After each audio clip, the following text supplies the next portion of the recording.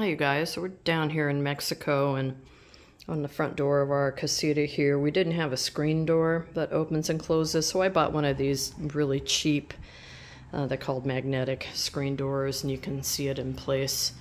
Uh, here, I'll walk up so you can see the uh, stripes. That's so you just don't walk into the thing. Um, but you can see it's double stitched, which is really nice. I, I had one of these before. Um, at a mountain place that we used to own, and it did a great job of keeping out the mosquitoes, but the no-see-ums could still come through. But this is keeping the no-see-ums out. Um, so for this, and it was only like 20 bucks. It's super easy to install. Um, so I'm just going to talk about it real quick as, you know, something for a shed or for your front door or whatever. But the area in here has really long magnets in it and they magnetize to each other. So if you open the door, right, it just closes back up. Sometimes the bottom gets a little stuck, but the dog can push her way through as you can see from the dirt right there. Um, it's super easy to install. They come with um, this Velcro tape, and you can run it around the whole side. Um, we just did this as a temporary measure, so I just did small sections here, and here and here. And so there's Velcro on this side, Velcro on that side, and they just obviously stick together, and it makes a great seal. Somebody thought this would be beautiful. uh, yeah, it's funny.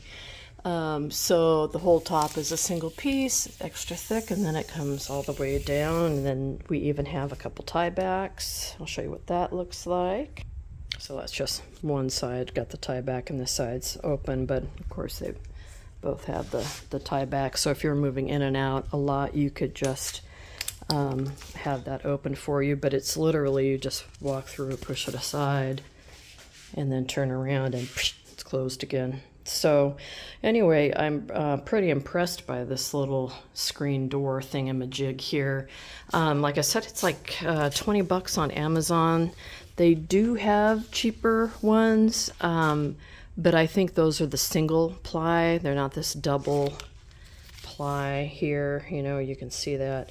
So, anyway, um, inexpensive, great use, keeps out the mosquitoes, the no certainly the flies and any other bugs that we don't want in our lives. So anyway, I just thought I'd show you that to you and, um, you know, talk about it for a minute. So it's been extremely helpful for us. I think actually we'll probably just leave it down here for the landlord. It's so inexpensive and I'll just buy a new one when I get back up to the U.S. So anyway, there you have it.